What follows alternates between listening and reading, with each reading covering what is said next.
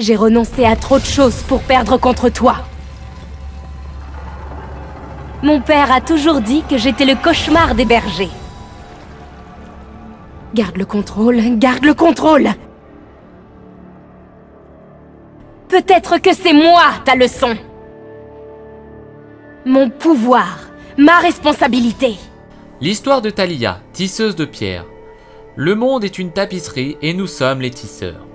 Thalia est une jeune magicienne nomade de Shurima qui manipule la roche avec énergie, enthousiasme et une détermination sans faille. Malgré sa jeunesse, portée à l'émerveillement, elle a traversé par devoir presque tout Valoran dans sa quête pour comprendre et maîtriser ses pouvoirs.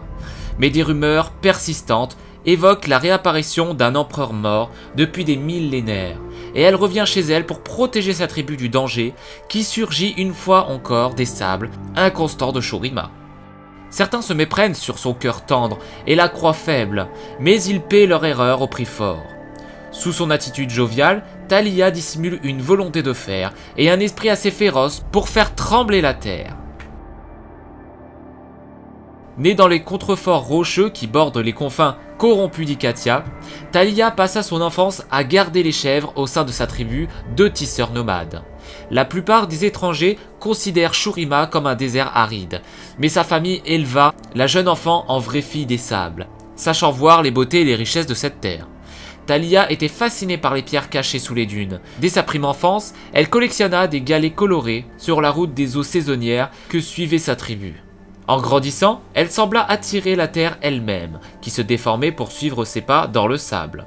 Après son sixième été, elle quitta un soir la caravane pour tenter de retrouver un chevreau qu'on lui avait confié. Déterminée à ne pas décevoir son père, maître chevrier et chef de la tribu, elle pista le petit animal dans la nuit. Elle suivit les empreintes dans un lit asséché jusqu'à un promontoire.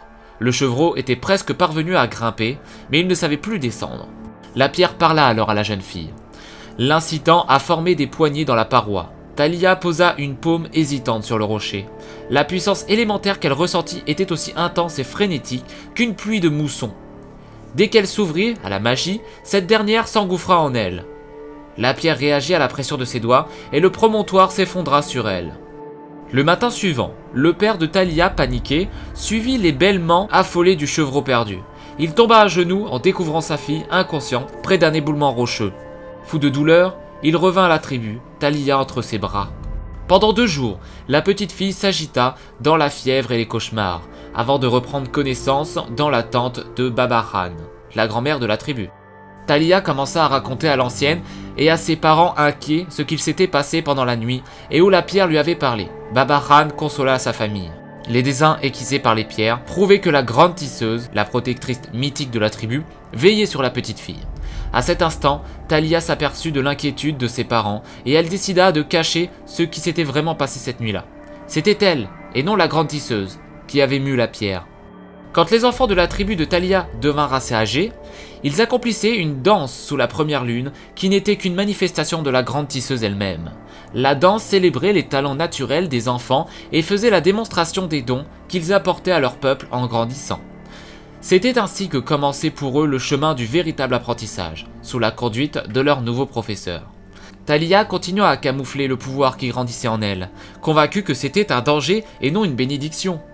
Autour d'elle, ses camarades d'enfance apprenaient à filer la laine pour protéger la tribu contre le froid nocturne du désert, à tailler et teindre et ou à tisser les motifs qui racontaient l'histoire de son peuple. Souvent, la nuit, tourmentée par le pouvoir qui viruait en elle, Talia s'agitait sans trouver le sommeil. Le jour vint où elle dut à son tour danser sous la pleine lune. Elle avait assez de talent pour devenir chevrière, comme son père, ou une tisserande expérimentée, comme sa mère mais elle craignait que la danse révélerait véritablement. Talia prit la place sur le sable, entourée des instruments de son peuple. La houlette du berger, le rouet, le métier à tisser.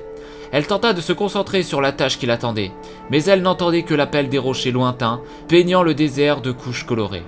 Talia ferma les yeux et dansa, submergée par la puissance qui l'irriguait. Elle commença à filer, non la laine, mais la terre sous ses pieds. Ce fut les exclamations stupéfaites de sa tribu qui la ramenèrent à la réalité.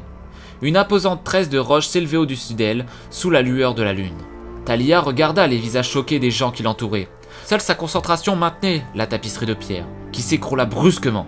la mère de Talia courut vers sa fille unique pour la protéger des pierres qui pleuvaient. Lorsque la poussière retomba enfin, Talia vit la destruction qu'elle avait créée et la crainte sur les visages de sa tribu. Mais ce fut la coupure sur le visage de sa mère qui justifia ses plus grandes peurs. Ce n'était qu'une estafilade, mais Talia comprit à cet instant précis qu'elle était une menace pour les gens qu'elle aimait le plus au monde. Elle s'enfuit dans la nuit, si lourde de désespoir que le sol tremblait sous ses pieds. Son père la retrouva une fois de plus, un peu plus loin dans le désert. Ils s'assirent côte à côte dans la lumière douce de l'aube et Talia confessa son secret en sanglotant. Il répondit de la seule manière possible pour un père. Il la serra tendrement dans ses bras. Il lui expliqua qu'elle ne pouvait fuir son pouvoir, qu'elle devait terminer la danse et voir où cela la conduirait. Renoncer au nom de la grande tisseuse était la seule chose capable de briser le cœur de sa mère. Talia revint vers sa tribu avec son père. Elle entra dans le cercle de la danse, les yeux ouverts. Elle tisa un nouveau ruban de pierre, chaque texture racontant un souvenir du peuple qui l'entourait. Quand son travail fut terminé, la tribu était émerveillée. Talia attendait nerveusement. Il était temps pour un adulte de son peuple de s'avancer et de devenir le maître de ce nouvel apprenti. Pendant ce qui lui parut des siècles, Talia n'entendit que les battements de son cœur. Puis elle perçut le frémissement de la terre quand son père se leva. Sa mère se tint debout à ses côtés. Babaran, la maîtresse des teintures, et celle des rouets se levèrent à leur tour. Brusquement, toute la tribu fut sur ses pieds. Tous se tiendraient aux côtés de la jeune fille qui savait tisser la pierre. Talia regarda chacun d'entre eux. Elle savait qu'un pouvoir comme le sien n'avait plus été vu depuis des générations. N'avait peut-être jamais été vu. Mais si tout son peuple l'entourait d'amour et de confiance, l'inquiétude restait palpable. Nul parmi eux n'avait entendu comme elle l'appel de la terre. Bien qu'elle aimait profondément son peuple, elle ne voyait personne autour d'elle qui puisse lui apprendre à contrôler la magie élémentaire qui la traversait. Elle savait que rester avec sa tribu, c'était risquer la vie de tous ses membres. Malgré leur chagrin à tous, Talia dit adieu à ses parents et à son peuple, puis partit à la découverte du monde. Elle se dirigea vers l'ouest, vers les lointains pics de Targon. Son lien naturel avec la roche l'attirait vers les montagnes qui crevaient la voûte stellaire. Mais, aux confins du nord de Shurima, elle fut découverte par ceux qui marchent sous les étendards de Noxus. À Noxus, on fêtait les magies comme la sienne, lui dirent-ils. On les révérait même. Ils lui promirent un professeur. Talia avait mûri au contact de la terre, dans l'honnêteté et la confiance. Elle crut sans arrière-pensée les promesses doucereuses et les sourires fabriqués des dignitaires noxiens. La fille du désert se retrouva soudain sur une voie inflexible, jalonnée par de nombreuses Noxtora, les grandes portes de fer qui marquaient la revendication par l'Empire des terres qu'il conquérait. Dans la capitale, des masses de citoyens et des intrigues politiques furent vite étouffantes pour la jeune femme, élevée sous les cieux ouverts du désert. On fit parader Thalia dans toute la bonne société des mages de Noxus. Beaucoup s'intéressèrent à sa puissance et son potentiel, mais les plus convaincants fut un capitaine au passé trouble qui lui proposa de la mener jusqu'à un lieu sauvage, au-delà de la mer, où elle pourrait apprendre à maîtriser les capacités sans plus jamais avoir peur. Elle accepta son offre et traversa la mer jusqu'à Ionia. Cependant, le navire avait à peine jeté l'ancre qu'elle comprit la triste vérité. On l'avait conduite jusqu'à ce rivage pour servir d'arme à un officier déchu qui souhaitait reprendre son rang dans la hiérarchie de la marine noxienne. À l'aube, le capitaine lui offrit un choix. Engloutir sous les pierres un peuple endormi ou être jeté à la mer. Talia regarda la baie. La fumée des âtres ne montrait pas encore les cheminées du village assoupis. Ce n'était pas cette leçon qu'elle était venue apprendre. Talia refusa et le capitaine la précipita par-dessus bord. Elle parvint à rejoindre le rivage en s'éloignant rapidement des combats qui commençaient sur la plage. Elle se mit à errer, perdue, dans les froides montagnes d'Ionia. Elle y rencontra enfin le mentor qu'elle avait recherché partout, un homme dont la lame commandait au vent lui-même. Quelqu'un qui comprenait les éléments et la vertu de l'équilibre. Elle s'entraîna avec lui et commença à trouver le contrôle qu'elle désirait si ardemment. Alors qu'elle reposait dans une auberge isolée, Talia apprit que l'empereur transfiguré de Shurima était de retour dans son royaume des sables. D'après les rumeurs, l'empereur devenu Dieu voulait rassembler les tribus dispersées pour les réunir de nouveau en esclavage. Même si sa formation n'était pas achevée, Talia savait n'avoir d'autre choix que de retourner vers sa famille pour la protéger. Le cœur lourd, son maître et elle se séparèrent. Talia voyagea jusqu'aux dunes de sable de Shorima, tandis que les durs rayons du soleil la frappaient de nouveau.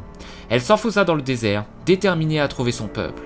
Sa volonté était de granit, et elle était décidée à faire tout ce qui était nécessaire pour protéger sa famille et sa tribu contre le danger qui menaçait à l'horizon.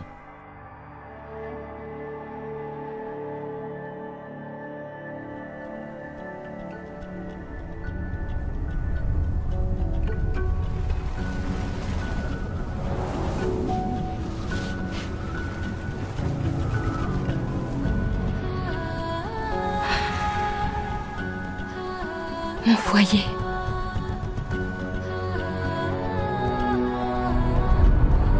Les récits étaient vrais.